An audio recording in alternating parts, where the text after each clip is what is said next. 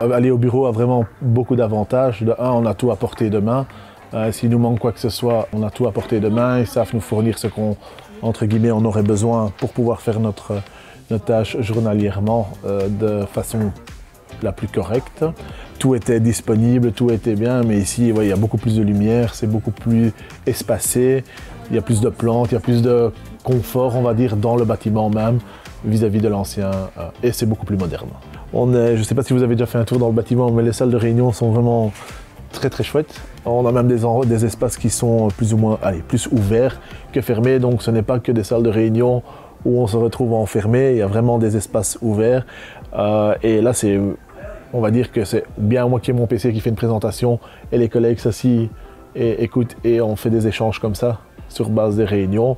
Mais euh, oui, non, toutes les salles sont, sont bien équipées et sont vraiment confortables.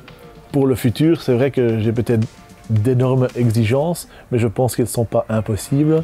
C'est que quand on s'assit derrière un FlexDesk dans le futur, que sur base qu'on se log ou que le, système reconnaît la personne qui s'assit derrière, adapte les, tous les paramètres que la personne aurait programmés auparavant et que ça se fasse automatiquement.